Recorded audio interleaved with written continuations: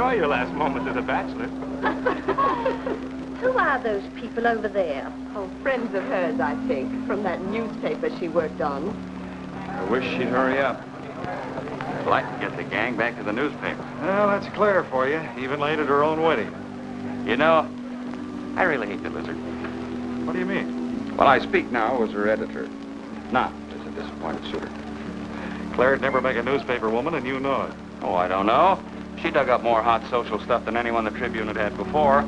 That takes talent. Personality, Hack, my boy, not talent. All right, so I appreciated her personality. You appreciated it. I was the one that brought her to your attention when she was only an $18 a week steno from a hick town. Remember? Very touching, Al. You can put that in your memoirs. She's marrying Hanneman now. Listen to the frustrated lovers. You know, if either of you guys had made furnaces instead of small talk, you might be in Hanneman's shoes now. Have one of mine.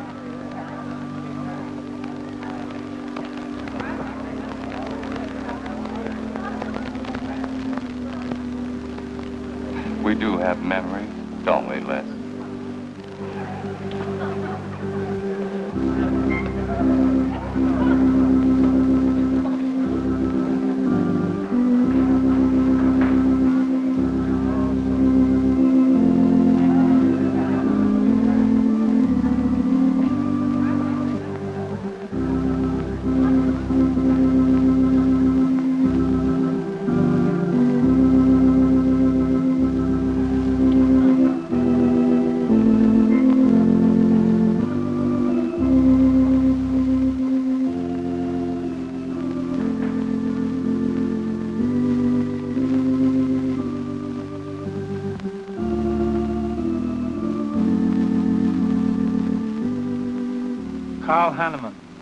Wilt thou have this woman to be thy wedded wife, to live together according to God's ordinance in the holy estate of matrimony? I will. Claire Cummings, wilt thou have this man to be thy wedded husband, to live together according to God's ordinance in the holy estate of matrimony? I will. I now pronounce you man and wife. You may kiss the bride.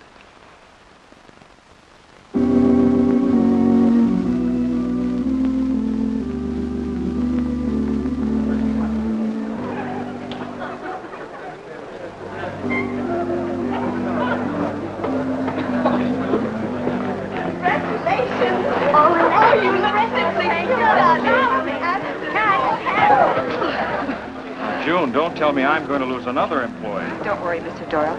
I don't even have a boyfriend. We better go in now and cut the cake. We'll have to hurry, darling, if we expect to catch that plane. I'll be right in. I just want to say my goodbyes to a few of the gang. All right, but hurry. Thank you. Thank you.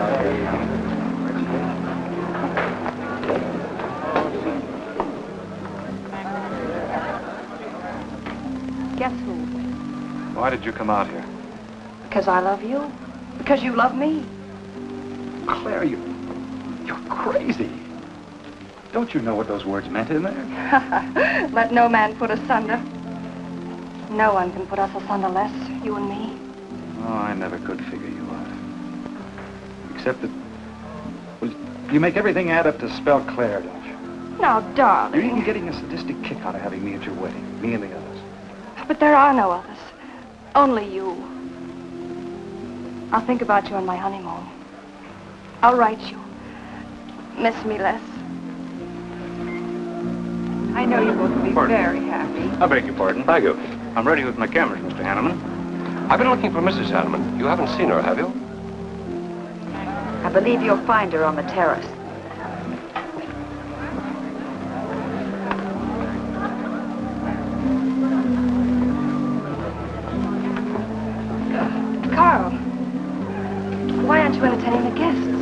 Waiting for you, my dear. I was detained. On the terrace? Don't you think you were being a little affectionate for a newly married woman? Darling, you're a great big old suspicious bear. That was only Les Burns. And? It was nothing. Just a friendly goodbye kiss. Les did so much to help me with my newspaper career. Why, he's like a brother. You're the only man for me, darling. Ever. They're waiting for us. Shall we cut the cake?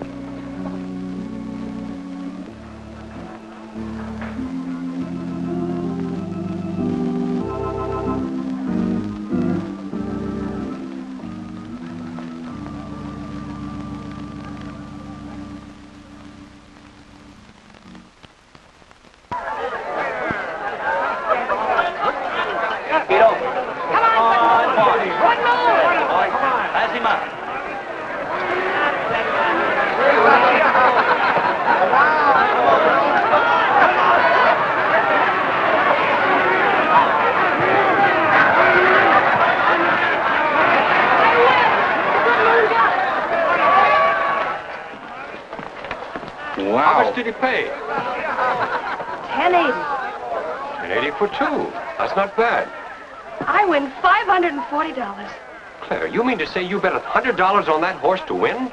Of course. In these places, you have to spend money to make money. You see now. I'll put five hundred dollars in the second race, high heels. Come on. Wait, wait, that's being foolish. You're only out a hundred dollars if I do lose. It isn't the money, it's the principle of the thing. Principle. Carl, I don't understand you. With all you have, I've worked hard for what I have. Oh, I don't mean to be a tightwad. A little bet for fun is all right. But I have too much respect for money to throw it away on horses. of course you're right. It was foolish of me to bet so much. Forgive me. Of course. Now, excuse me, I want to go cash these in.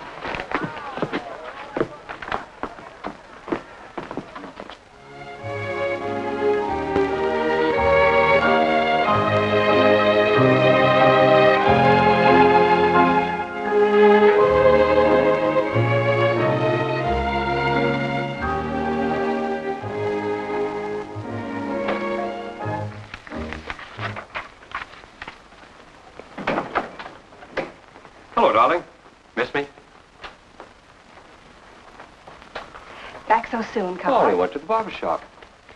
Who are you writing to? June Taylor, you remember. Les Burns' secretary. She was at our wedding. Do you want to read some of the awful things I said about you?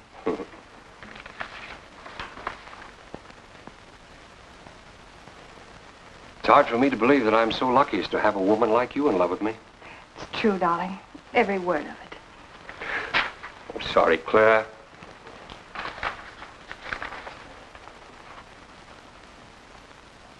My darling Les. To June, eh?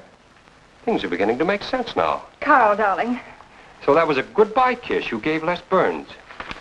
Well, Well, what do you want me to say? nothing. There's nothing you can say, I guess. I'm only glad I found out about it now. Carl, what are you going to do? I'm going back to San Francisco. We're through.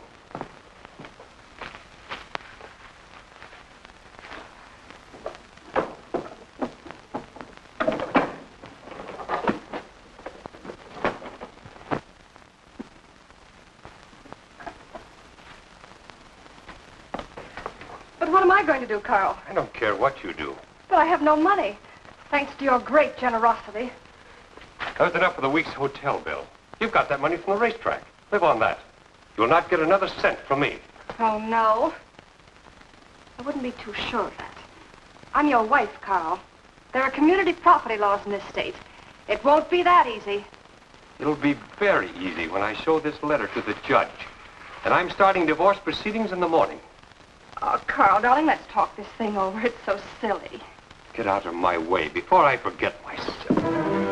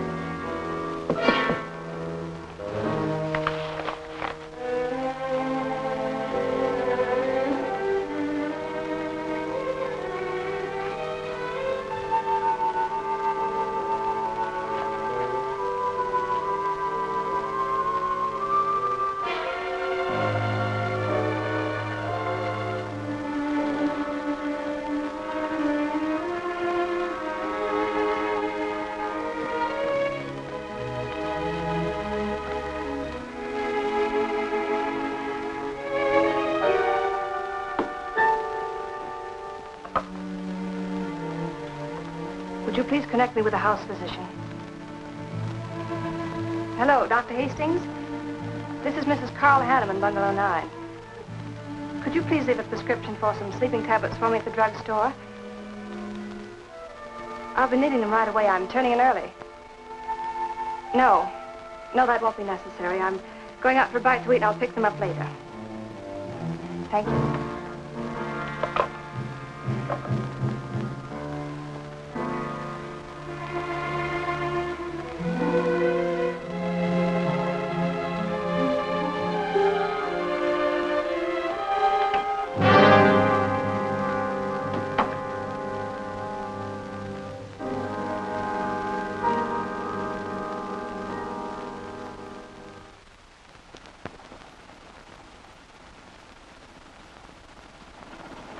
Want a new set of plugs in 42.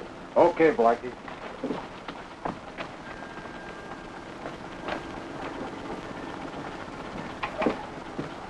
Are you Mr. Tellen? Yeah. I must reach San Francisco by tonight. I want to be back by morning. Can you make it? I can make it up and back if uh, If what? this weather holds out and my fee is big enough. How much will it cost? 400 bucks.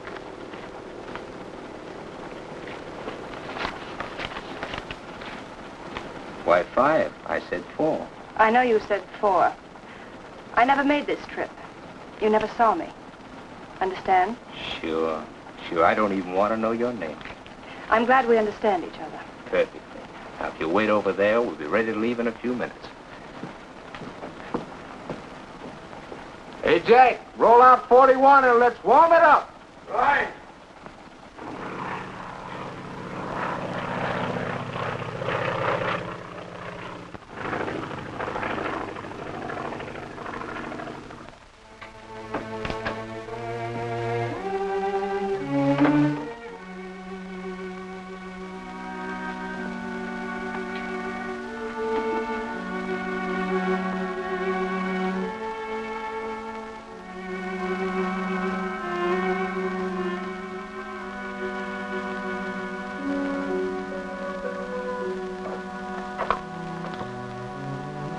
Please.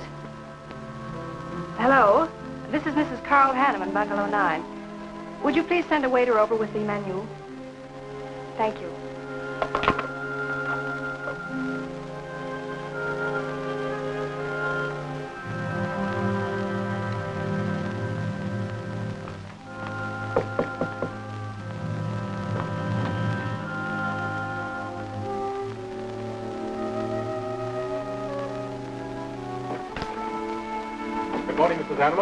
Morning, Victor. Let me see. I think I'll take some orange juice and uh, toast, coffee. That'll be all.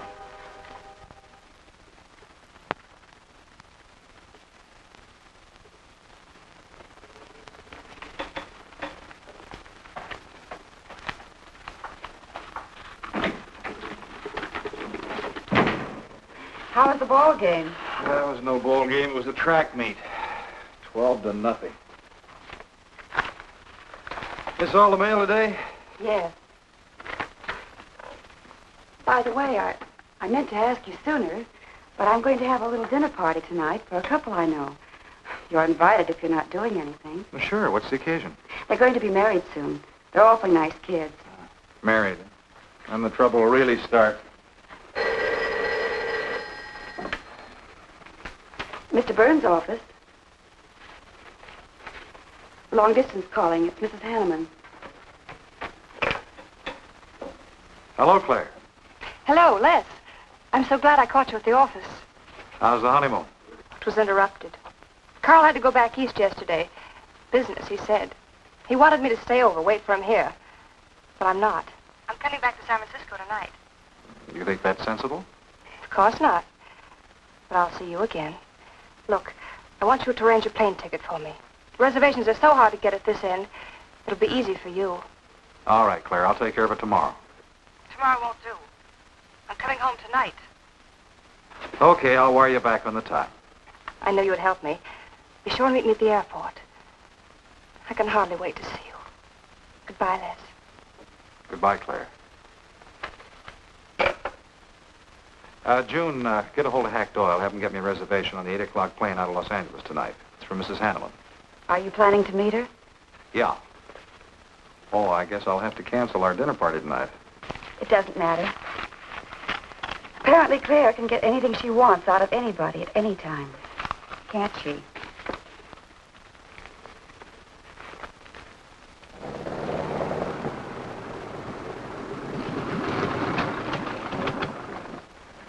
I never thought I'd be back with you so soon, darling. It's wonderful. It's crazy. Then why did you meet me? I don't know. I do.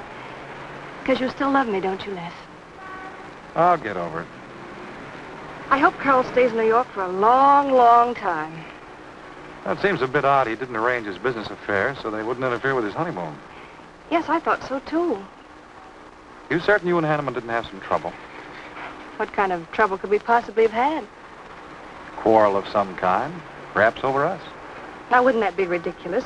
Giving him some reason to doubt me just so soon after we're married? What do you think you're doing now? You don't feel sorry for Carl, do you? No. No, I don't. But I should. Look, let's forget all about him. For a few days, anyway. Take me home, I'll change, and you can take me out to supper. Claire, I'd, I'd rather not go to the house. But I, I must freshen up, darling. I really must. You want me to be beautiful, don't you? Just for you? You are beautiful. See? There's nobody home.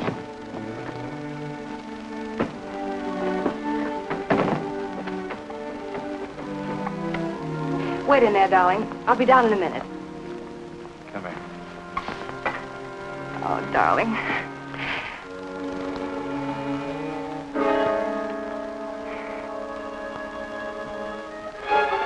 Les, what is it?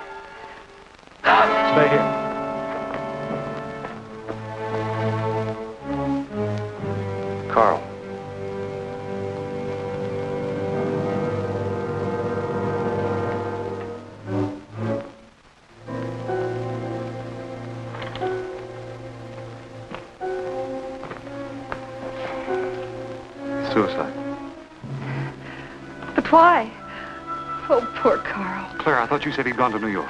That's what he told me. I don't understand it. Why should he do such a terrible thing? You probably know as much about that as anyone. It's going to be one of the first things the police ask you. You can't stay here, darling. I'll take you over to Hack Doyle's. Where's your telephone?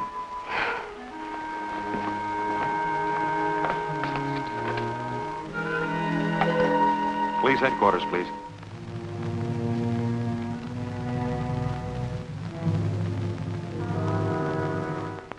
Of you and Hack right away, Mamie, and brought her over here. I hope you can put her up for tonight. Oh, of course. You can stay as long as you like, Claire. Thank you, Mimi. You're very kind. It's just too incredible. If you'd had any earthly reason. We were so happy. So very happy. And now there's... Oh, Hack, mm-hmm. Claire's going to stay with us for a few days. Good. Plenty of room. The police are over there now. Murdoch said he'd stop by here later. Sure it was suicide? Fairly sure. But a man in Hanneman's position, a beautiful wife, and all that money? I don't get it. I don't either.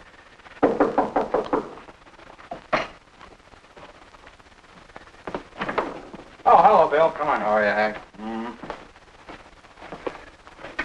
Hello, Claire. Hello, Bill. Sorry this had to happen to you. Sit down, Captain. How about a cup of coffee? Thanks, Miss Doyle. I won't annoy you for long, Claire. Just a few questions, routine. You know how it is. Of course. Les gave me most of the details over the phone. Your husband, by the way, has been dead for nearly 24 hours. Uh, how did it happen that Burns met you at the airport? He didn't happen to. I phoned him from Los Angeles. How come? Well, I was arriving late and alone. I knew Les would pick me up. Do you have any theory as to why your husband came to San Francisco after telling you he was going to New York? No. I didn't know anything about the business. The gun, of course, was Hanneman's. We checked the serial number. Funny there are no powder burns on the coat. Bill, a suicide doesn't always press a gun against his body. In that case, There would be no powder burns, I know. Do you know of any reason why your husband should have taken his life? No, I don't. Anything wrong with his health? Not that I know of. But that could have been the reason. Had you quarreled? Oh, no. No, we never quarreled. Believe me. Throughout every minute of our married life, we were supremely happy. The entire week, huh? Well, that's all for now.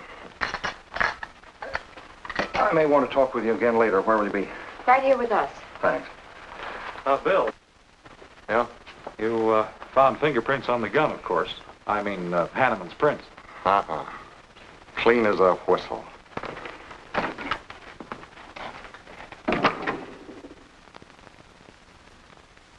Certain, Mr. Burns, that's the position you and Mrs. Hanneman found her husband. That's right.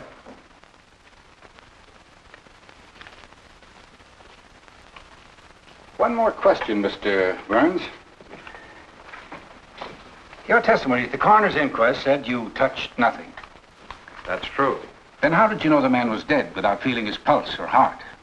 Mr. Chalmers, I've been around enough to know a dead man when I see one, especially after 20 some odd hours. You uh, assumed that Mr. Hanneman committed suicide. Why? Well, everything points to suicide. Not in my assumption, Mr. Burns. Mrs. Hanneman, you say you saw your husband alive on Monday afternoon, and then the following night, which was Tuesday, you saw him again. Yes, but he was dead. I've told you everything. You don't need a weather vane to see which way this wind is blowing. Was it customary for the servants to uh, take a vacation whenever Mr. Hanneman left on a trip and leave the house empty?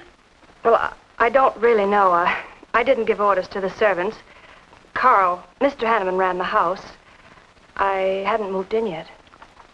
I see that uh, you also assumed that this was a suicide. Naturally, it couldn't have been anything else. That's what Mr. Burns said. According to the police scientific detection laboratory, the pistol found near the body was the one used in the death of your husband. But they found no powder burns on the clothes of Mr. Hanneman, nor fingerprints of any description on the gun. Furthermore, it was brought out that Mr. Hanneman couldn't have fired the gun because in making certain tests of his hand for traces of powder marks, none was found. Just what are you driving at? Simply this. Carl Hanneman was murdered. But unfortunately, I haven't enough evidence to hold either of you. You were out of town, and your alibi was proven. You're free to go. But let me give you a tip. I'm not buying any suicide theory, so the case will remain open. See you later, Ed. So long, Hack.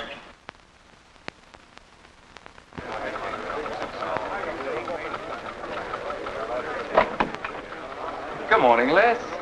Just the guy I want to see. Yeah, about what? Oh, I've been assigned to do the follow-up on the Hanneman case. Oh, how'd you draw that? Oh, I asked for it. It'd Be a dull job because there isn't going to be any follow-up. Just an ordinary suicide. Are you kidding? I never smelled an odor of fish so strong in my life. No fingerprints on the gun, and you call it suicide. So what? What makes you so sure? Can you give me a good reason for Hanneman killing himself? No, I can't. Perhaps he thought he had a good reason. And perhaps he didn't. So meanwhile, if I can dig up a plausible motive... Who I- asked you to dig up a motive, plausible or otherwise? I said, if I can dig up a motive, I'm willing to accept suicide.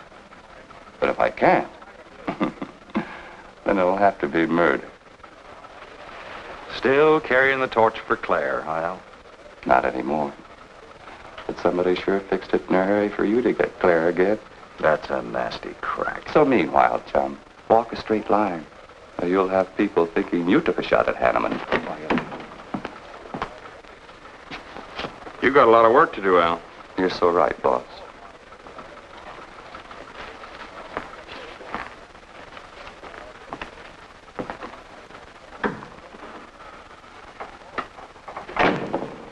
Sorry, Hack.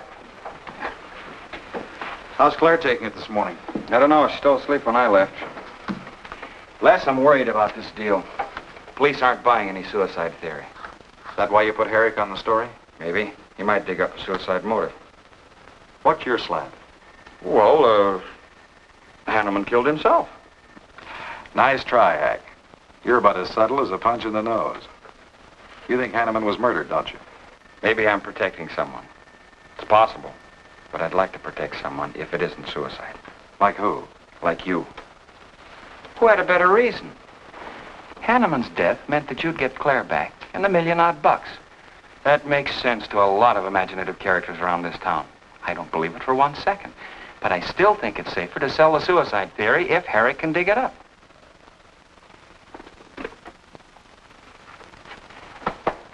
Thanks, Hack. But I didn't do it. Yeah. Send him in. With Claire on the job? Hello, Batson. What's on your mind?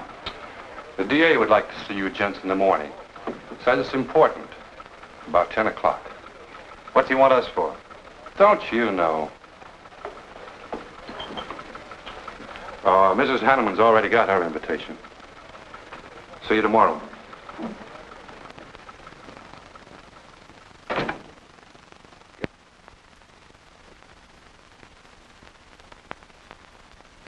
Herrick really revels in pouring it on. Well, it's news. Nobody's been hurt. Yet.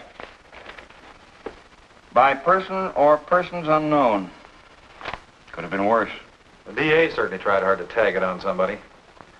Tell me, Hack, do you think that, well, that Claire could have shot her husband in some way? No. She was in Los Angeles the night he was killed. DA couldn't shake that, and Good morning, everybody. I hope I'm interrupting something important. Hello, darling. You look tired. Hello, Hack, dear. Good morning, Clara. It's a pleasant surprise. What can I do for you? I uh, came to get my job back. Starting when? No. Well, after all that's happened, don't you think you should have a little rest? Rest. Why, working will be the best thing in the world for me. It'll keep me from thinking too much about poor Carl. After all, I must carry on. My life is still ahead of me. What's the real reason? Well, I do need a little cash. I have the house and my clothes, but I just won't be able to live on the widow's compensation the court will allow me. You wouldn't want me to have to sell my clothes in order to eat, would you? Oh, no. After all, I've I've made other arrangements about your column. Beth Warnock's taking it over. You are still the boss, Hack. Les, darling, wait outside for me. I'll be out as soon as I've had a heart-to-heart talk with Hack. I know. You might as well say yes, Hack. I've had these heart-to-heart talks.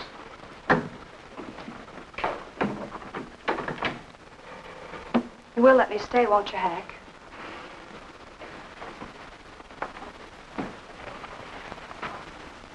Yes, but I was hoping you wouldn't ask it. You are a darling. Listen, Claire. You stick to the job and no playing around. There's enough trouble here now without you adding to it. I don't know why you talk like that. I'm serious about it, Hack. I'll work hard. For your sake, I hope you do. You are a dear. See you later.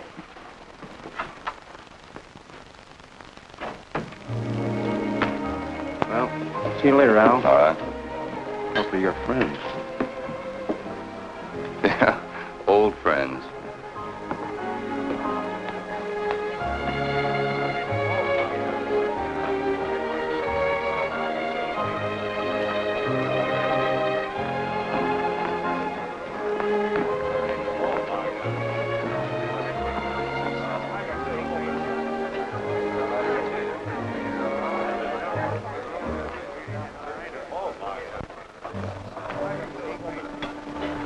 Two martinis, please.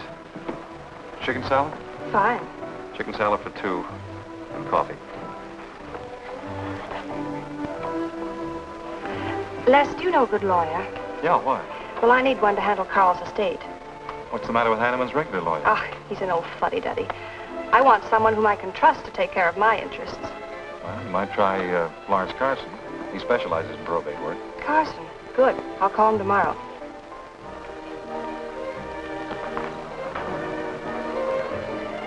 Do I know that man over there? You should. It's Stanley Mason. Our paper's backing him for Congress. Of course. Why, the pictures on his campaign posters don't do him justice. You know, I never could figure that guy. Every time I see him, he's with a different girl. So? Oh, we'll have four Manhattans. Make them half French and half Italian vermouth. We'll order later. I'll look after them personally, Mr. Mason. Thank you. Stanley, isn't that that Hanneman woman over there? Yes, she's very attractive, isn't she? Well, if you like the type. Why wouldn't he be a good man to handle the estate? No, no, no. He's too tied up with his election campaign. What are his chances, Les? I'm going to Washington. Pretty good. Why? That makes him important. I've got to have someone with influence. He looks like the kind of a man who could get things done quickly. Capable enough, I suppose. Probably make a good representative. Personally, I just don't go for it. I want you to introduce me to him. You can do better. Oh, darling, don't be stubborn. I want to meet him. When you want something, you want it right now, don't you? You know what I really want, Les. I know. A fine old name like Hanneman, carload of dollars, social position, the tops. You're forgetting the most important thing. You see, that's just the frame. The other picture in that frame. What's that about a frame? Sergeant Benson, won't you join us? No, but Burns here can join me. Been looking all over for you. The captain wants to have a little chat. Now. What is this, a pinch? No, just an interview. It won't take long. It's too bad you couldn't have found me at 10 o'clock this morning. I was in a dentist's chair. I'm sorry, Claire. It's all right, darling. I'll wait for you here.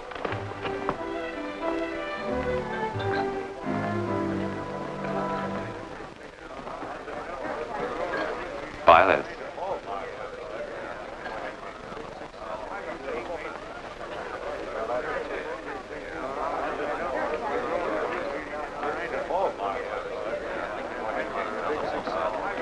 Hello, Al. Don't tell me they finally grabbed Les for murder.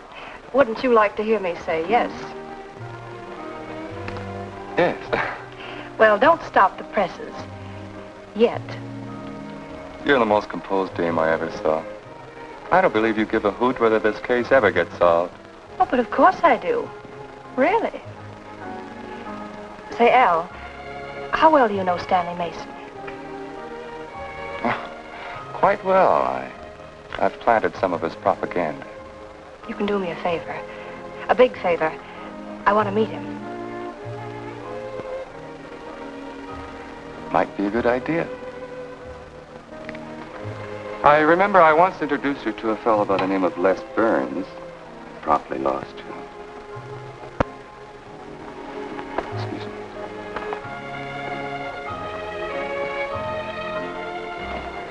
Stan. How are you? Well, hello, Al. Say, I have a young lady over here who'd like to meet you. Just take a minute. Well, all right. Excuse me? Excuse. Claire, this is Stanley Mason. Mrs. Hanneman. I'm so glad to meet you, Mr. Mason. How do you do, Mrs. Hanneman? Won't you sit down?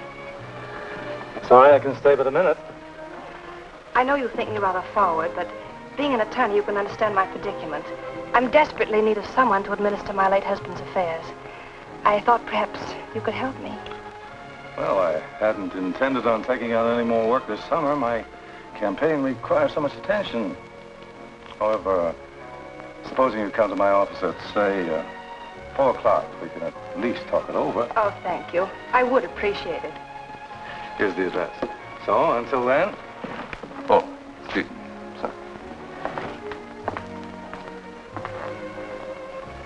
Thank you, Al. Don't mention it.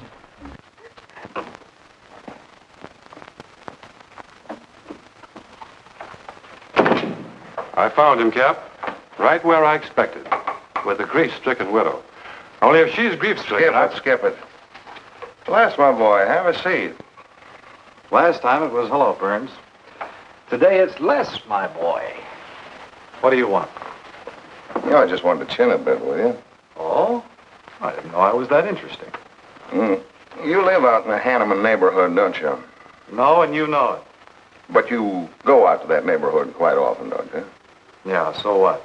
To visit friends. Oh, sure, that's right. There's Hack Doyle and his wife, June Taylor. Say, there's a clever little girl, huh? Your secretary, huh?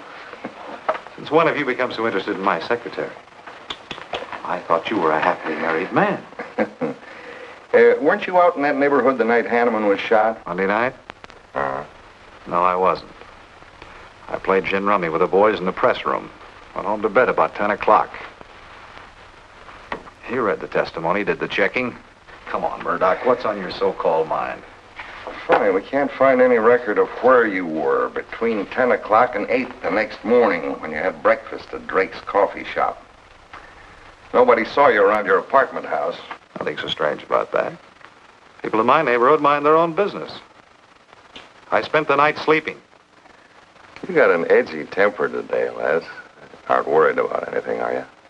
I'm annoyed. Until you and the DA get this thing settled, nobody will get any rest. We may have the answer quicker than you think. The police expect to apprehend the criminal within 24 hours. Shall I quote that? You can write out the gags, Burns.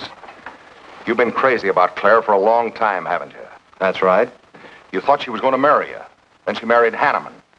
That must have been quite a jolt. I won't deny that either. So you must have been pretty sore at Hanneman for beating your time. All right, I suppose I was. You know, Burns, you've given out with all the motives a man needs for killing another. You don't need motives, Murdoch. You need evidence. Evidence? you just told me that you weren't near the Hanneman home last Monday night. I wasn't.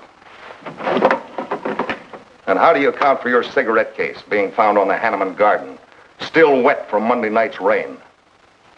I don't have to account for anything. To throw cold water on your mastermind, I tossed that away right after the wedding. Anything else you want to know? No, that's enough. Next time, be more careful when you talk to the captain. Listen, Mr. Benson. If I've hurt the captain's feelings or yours, arrest me. And I can sue, and you'll be back writing tickets for jaywalkers.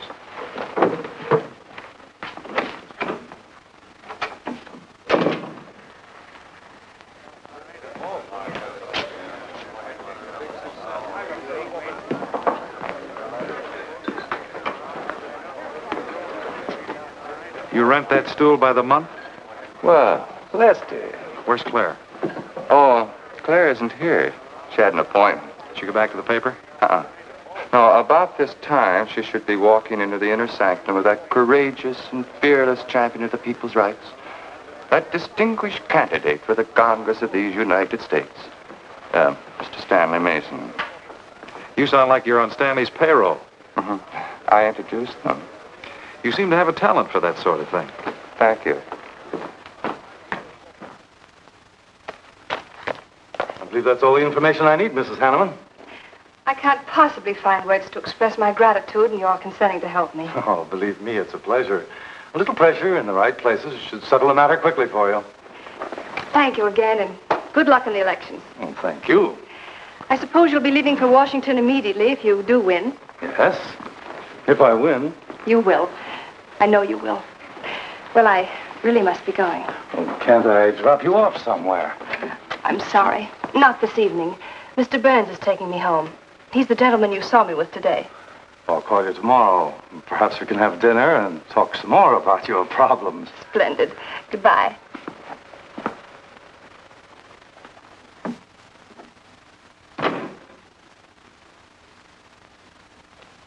Look, Claire, don't you think you ought to stay over at Hack Doyle's a little longer? Might be unpleasant. Oh, don't be ridiculous. Come on. Oh, Robert. Good evening. Good evening, Mrs. Hanneman. Uh, we weren't expecting you home. We've made no arrangements for dinner. I've had dinner. Please take my bags to my room, and you and Christine take the evening off. I shan't be needing you. Thank you. Oh, Mrs. Hanneman, uh, I just wish to say on behalf of Christine and myself that we're pleased that you're home. And we'll do everything we can to make you happy. Why, thank you, Roberts.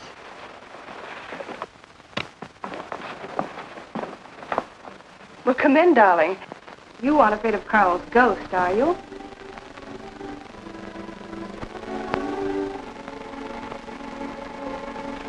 You'll never be happy here, Claire. Nonsense. I've done a little refurnishing. Well, that ought to help a little. Les, what did Murdoch want with you? He had an idea I might have paid a visit here Monday night. You didn't, did you? Of course not. It also seems I had a motive to kill Carl. Of course you did. If you were that kind of a person. Murdoch's only fishing. Well, he knows I've been in love with you for a long time. I told him. You told him. Why not? It's true. You want them to keep working on you, so they'll stay away from me. That's it, isn't it? Yeah, that's it. I said I'd stand by. And you have. And I love you the more for it. You know I do love you, don't you, darling? I think you do, Claire. In a peculiar, mixed-up sort of way. I never should have married Carl. I didn't really love him, but he offered so much. Things I never had. But that's all over now. No, it's not all. And it won't be until they find his murder. They will. And there'll be nothing to keep us apart again. Ever. Claire, if I could only sell myself on that. You've got to, Les. You've got to.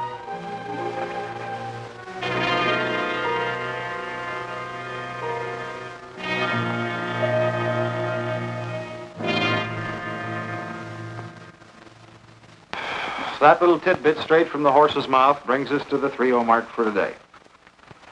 See you around about this time tomorrow. Les Burns. You're pretty sharp today. That's the best column you've done in two weeks. Thanks. You say so, it must be all right.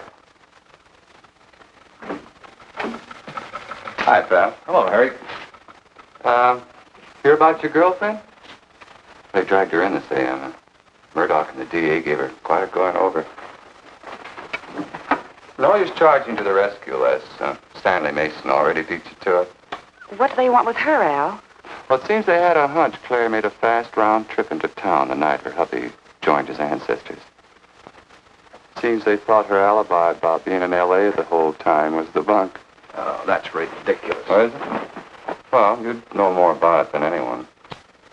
Jones, put that through, please.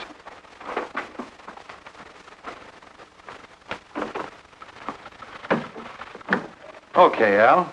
You're so much smarter than Murdoch. Spill it. Oh, I'm not saying I'm smarter. But I do know Claire better than he does. And I know you. Meaning what? Claire never lost any interest in you. Before, during, or after her marriage. And that doesn't prove it happened. With all that wampum at stake, this whole thing could have been planned weeks ago by both of you. I'm fed up with your dirty cracks. Now get out! Wait a minute. Look, Junior, one of these days I'm going to be too late and you're not going to have any teeth. Mm-hmm. You're so right, boss.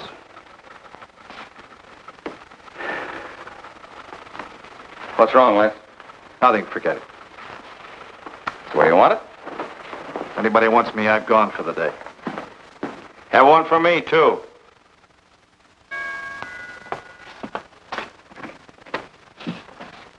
Where's Miss Hanneman? I gotta see her. Is she in? Why, yes, but she's going out. This is important. What's the trouble, Les? Oh, I've been trying to find you all afternoon. You didn't get back to the paper. Where were you? I was with Stan, uh, Mr. Mason. We were talking over the estate. Oh. Looks like you got some more talking to do. It's really only business, Les. Come in, but I can only see you for a moment.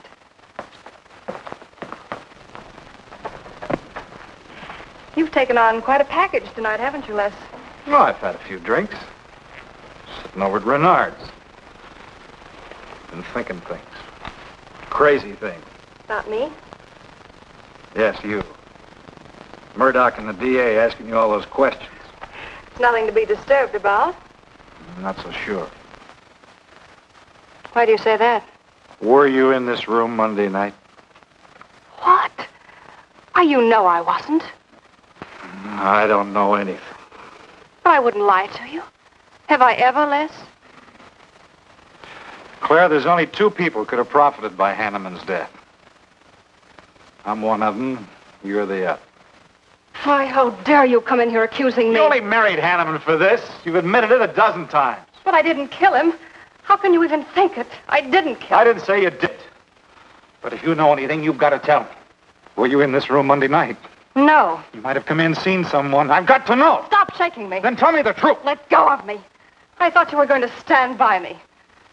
Why, you're drunk. I'm only trying to help you and me. Ha. Help me. You're accusing me of murder. How do I know you didn't kill him? You were in town. Claire. I've as much right to accuse as you have. But I'm not accusing you. Get out of this house.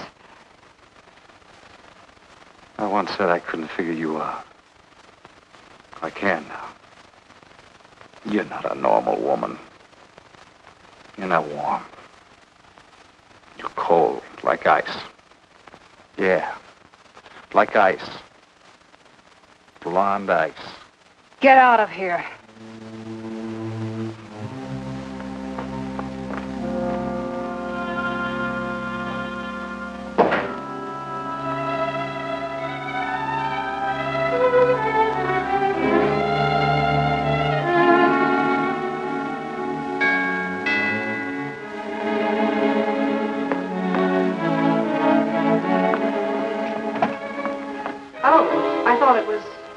Mrs. Hanneman. I don't believe I know you. Sure. Sure you do. Let me come in. We can talk better inside. In there. Now, what do you want? Well, I saw your picture in the paper, and I found out who you were. I figured we could make a deal. Deal? I was going to call on you last night, but uh, you, you had company, and I had to see you alone. What kind of a deal? Seems that plane ride last Monday night returned big dividends. I paid you to forget me. I thought I could trust you. Sure. Sure you can trust me. But it's hard to forget murder for any hundred bucks. Why, you dirty ah, double... Ah, ah, ah, I don't like that word. All right, we'll forget what happened to Hanneman. I'll go along with you on that suicide story. That is providing there's a little consideration of, let's say, uh, 50 grand. $50,000? Why, I don't have that kind of money. This estate's in probate. I won't receive a thing for months. I can wait. But in the meantime, I'll take this. I know a little man who'll lend me money on it, All right, all right. Just don't come near this house again. but I will keep in touch with you. Quick, out the terrace door. And don't forget, Mrs. Hanneman, I'm not kidding about that 50G.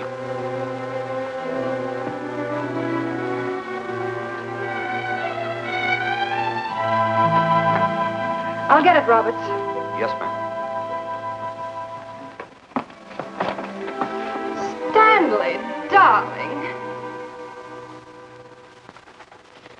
Thank you. Well, he isn't at Bernard's either. Oh, I hope nothing's happened to him. He'll turn up when he runs down or runs out to go for drinks. Say, uh, you write his column all by yourself? Somebody had to do it. I hope it's fit to print. It's good. Nice of you to cover for him, too. Do you really think he's all right? Sure, sure. I'll find him later. Don't worry about Les. He's probably getting more poison out of his system than he is into it. I hope.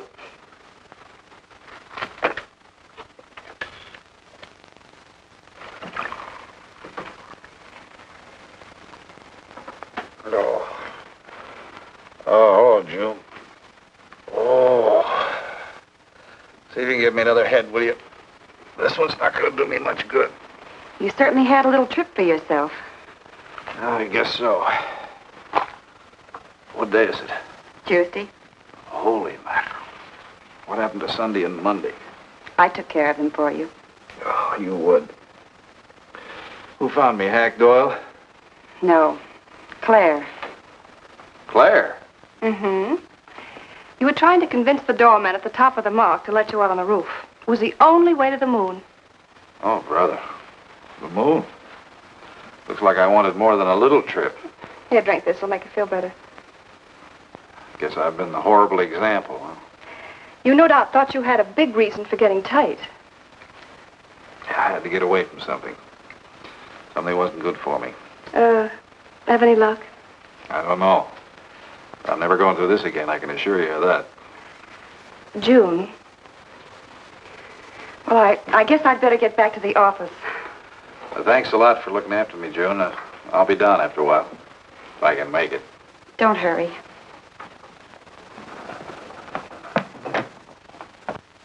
Les, I wonder which hangover you'll recover from first.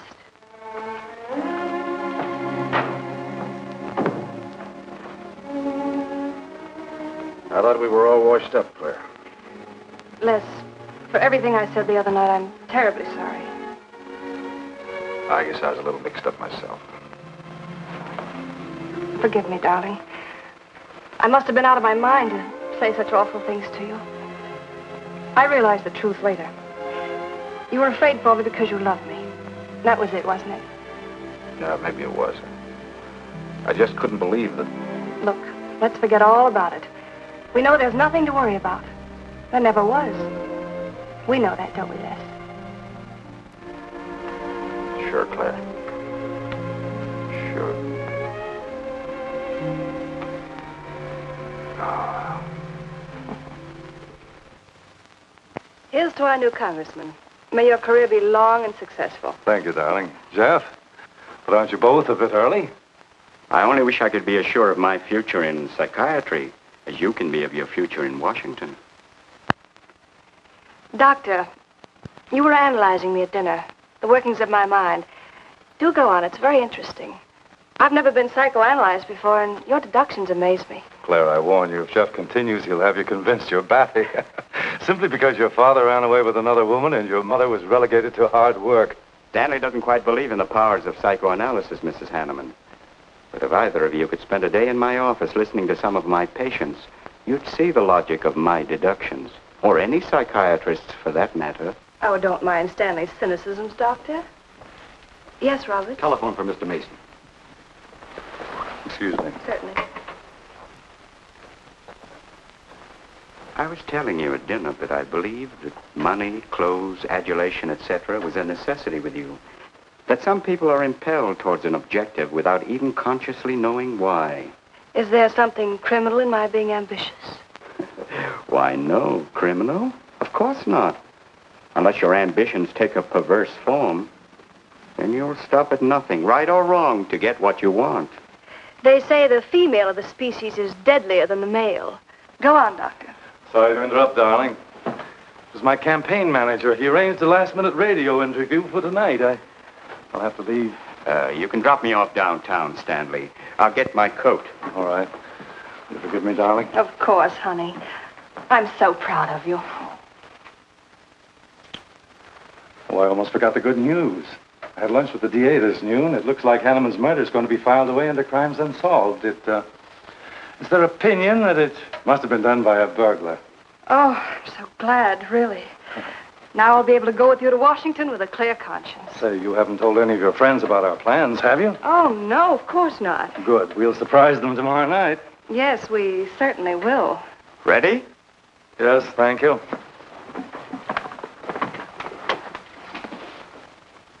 Good night, Claire. Good night.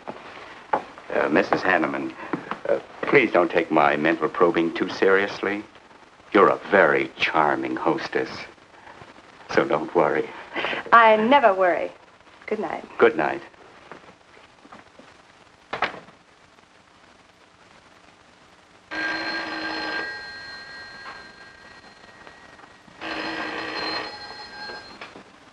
Hello? Yes, this is Mrs. Hanneman. That's all right, Roberts. I'll take it. Hello? Who? How dare you call me here? I had you. I'm in a jam. I need some dough, and you've got to help me. The estate isn't settled yet. I told you I don't have any money. Don't give me that. You're a smart girl, and if you haven't got it, you know where you can find it. I need at least a couple of grand now and tonight, or else I go to the cops. I got nothing to lose. I have about 700 cash in my jewelry. All right, bring it along. Meet me at the end of the old Valley Road. Be there in 20 minutes.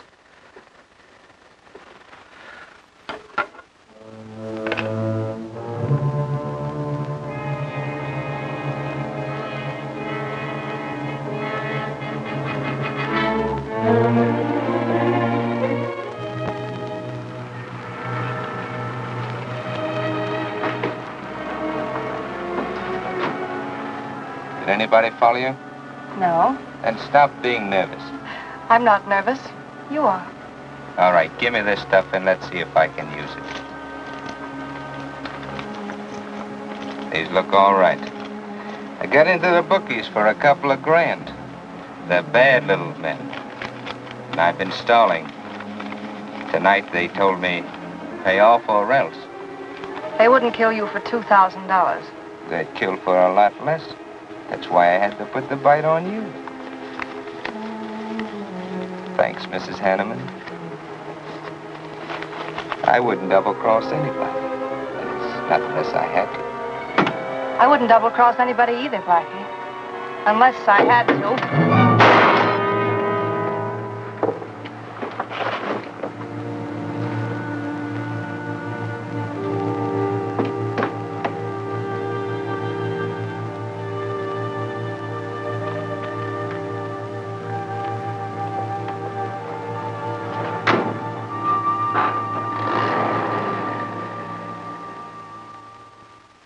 First returns have been received from the 12th precinct. Mason, 311, Jeffers, 282, and Allen, 91. That just about cinches it. If I can do that well in the 10th, I can carry them all. My gratitude, Doyle. Without your paper in back of me, I wouldn't have had a chance. Think nothing of it, Mr. Mason? We're glad we backed the right man. Well, it looks like you're in, Mr. Mason. Congratulations.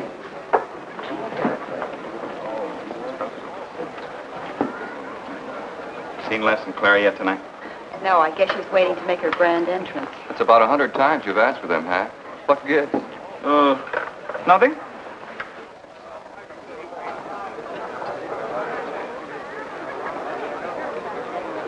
Mr. Doyle, looks like we have a new congressman. Yes, it does. I'm sure he's going to be a good one. I hope so. We backed him. Hello, Claire. Hi, Les. Hi, Hank.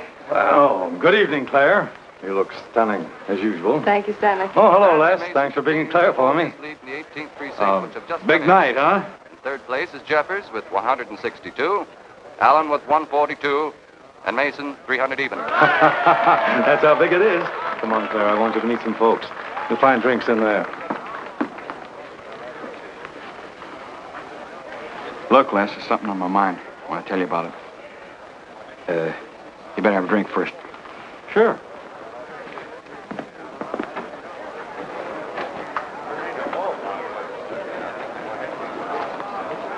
Hi, folks. How's the brawl? Well, at least the liquor's good. Well, Junie, aren't you a pretty thing tonight? Well, it's about time you noticed me. The trouble with you men is you always have ink in your eyes down at the office. Have a fresh one? no, thank you. This will do. Les. Hmm? I'll talk to you for a minute. Excuse us. What gives? Uh, did you come with Claire tonight? No, no. I came with my Aunt Martha from Penobscot. No, I'm serious. You saw her come in with me. You better get her out of your system, but right now.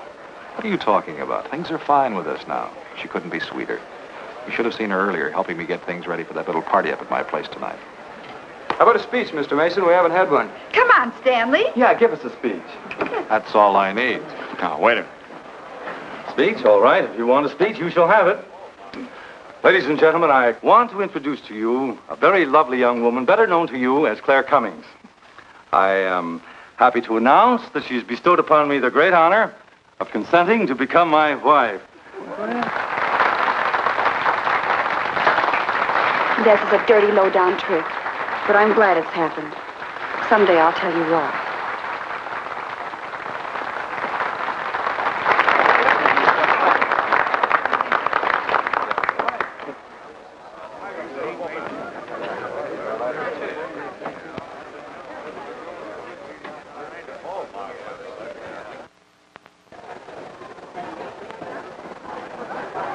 All the Thank rest you, of the world, my dear. That was quite a speech you made, Stanley. Surprised, Jeffrey? Aren't you going to congratulate us, Doctor? It's customary. Hate to take you away at this moment, Stanley, but there's something I must talk to you about. It's important. But of course, Jeffrey. Will you excuse us? I know you'll enjoy living in Washington. When do you plan to have the wedding?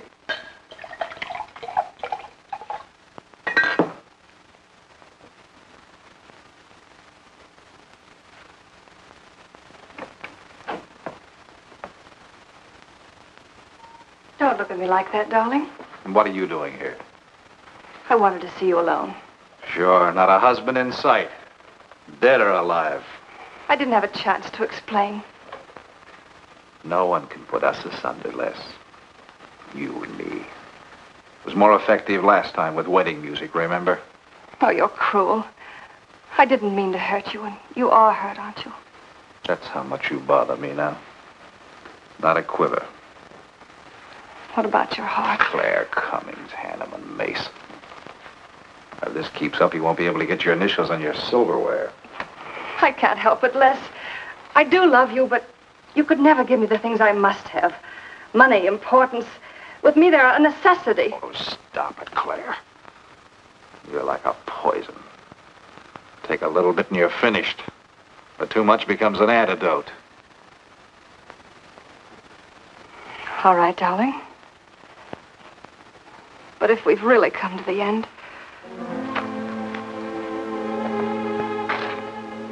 Stanley. Divine Burns, I'd like to say something to my fiancée alone. Not at all, Mr. Mason. Not at all. Go right ahead.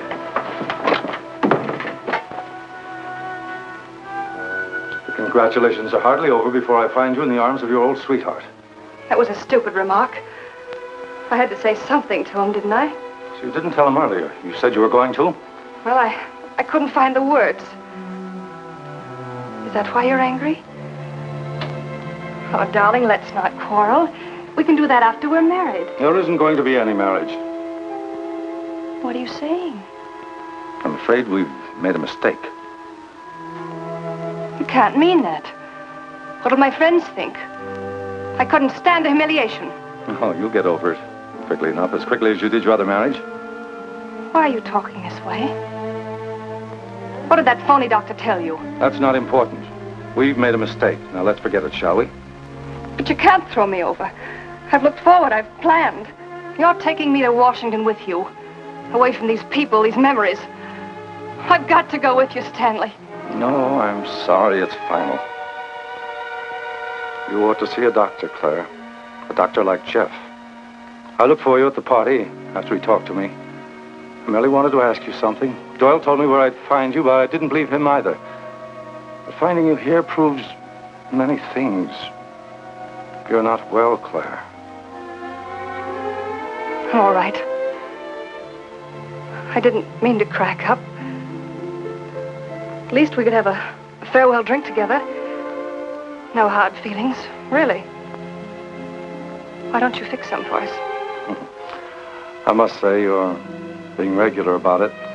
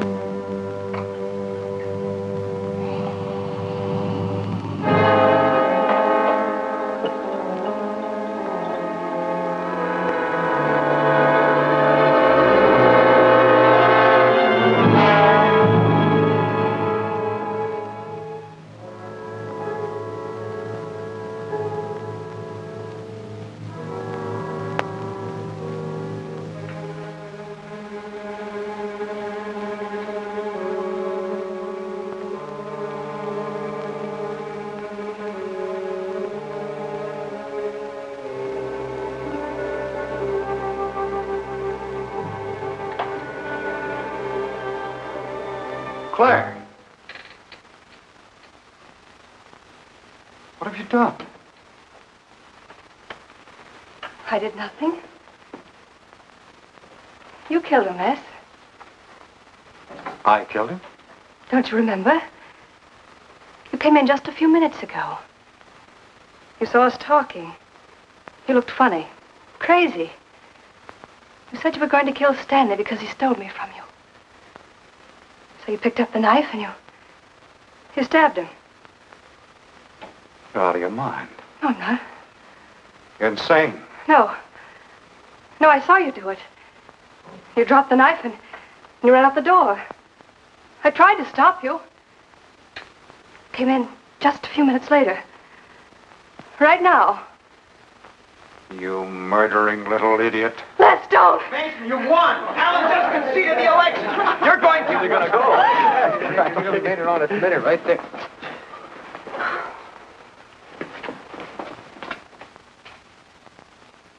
So you see, Doctor, the evidence is really stacked against Les Burns. I and the others feel that he's absolutely innocent. Now, I asked you down here to see if there wasn't something you could do to help us prove Les is innocent and Claire's guilt. Because just as sure as my name is Hack Doyle, she's framed him. I agree with you 100%. I am positive that Mrs. Hanneman killed Stanley. But uh, because of her testimony and finding the knife in Les's hand when you arrived at the scene, the police could come to only one conclusion. Surely there's something you can do to help him. He's innocent. I know he is. Look, you were once connected with a big city police department. Then you must have run across cases of this sort. I know now that Claire Cummings is a nut if I ever saw one. Yes, you're right, Mr. Herrick. I'll at least have a try at it. I'm just as interested in finding Stanley's murderer as you are in proving Mr. Burns's innocence. Now, I have a plan that might break her down.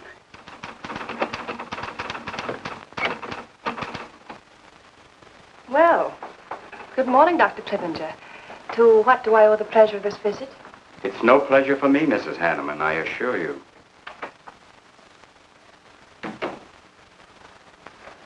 I just came to ask one question. Why did you kill Stanley Mason? What?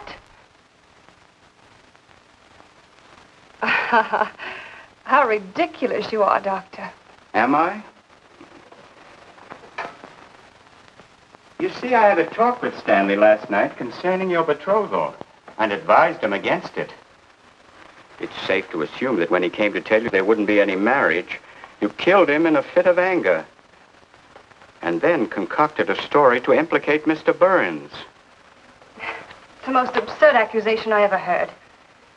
You seem to forget that Les Burns' fingerprints were found on the knife and that he was seen standing with it in his hand. The police have all the facts, Doctor. Not all of them. All they need to convict Les Burns. Do you mind if I finish my column? No. Why, no.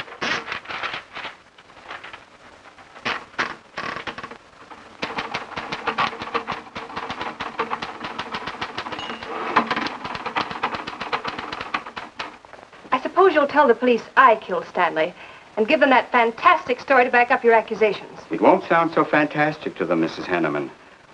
I discovered one or two other flaws in your story. They'll laugh at you. It's insane, absurd. Oh, you're wrong. You see, I've spent my life delving into distorted minds like yours. I worked for the police for many years as a consulting psychiatrist. You sound more like a hypnotist. And I'm quite fed up with your insane theories.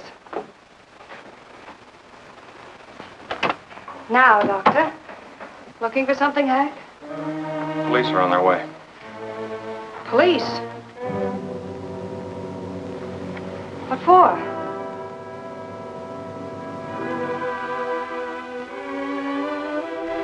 Oh. I see the three of you dreamed this one up. Well, as long as you're going to have me arrested, you might as well read my last column. Go ahead, read it, Hack. Read it out loud. I killed Stanley Mason. I killed Carl Hanneman. I killed Blackie Talon. You didn't know about Blackie, did you? You hid that story on page five. Unsolved robbery and slaying. I killed Stanley Mason because he, He no, longer wanted to marry me. Stanley Mason was the top of the ladder for me. The top rung. I had money. And now I was going to have position. He was taking me to Washington with him. I could leave then without making the police suspicious. Clever of me, wasn't it? Why did you frame Les Burns? Why? Because he caught me with blood on my hands. Because at last even he had discarded me. I never loved any of them. You, Al, Hanneman, Mason. But Les, I, I wanted to hang on to him. He was of no use to me, but I couldn't let him go. Maybe I did love him. Hello. Miss Cummings? No, she's off. I'm glad you confessed, because you never could have gotten away with it much longer. I would have, but to per you, Dr. Clippinger. You with your slimy scientific snooping. As soon as you came in, I realized it was you who turned Stanley Mason against me. You sent him to his death just as much as I. Sit down, Claire. Why, but for you, I'd have everything I ever wanted in life. I hated you because you were the first man who ever saw inside my mind. And I'm gonna kill you.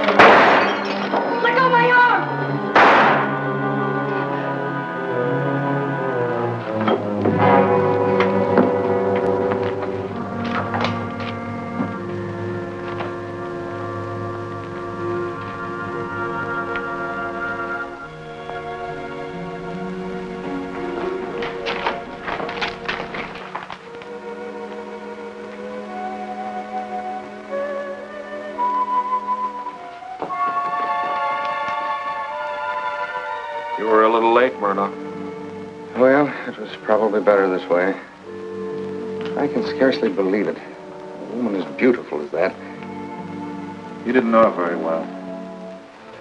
None of us really knew her very well.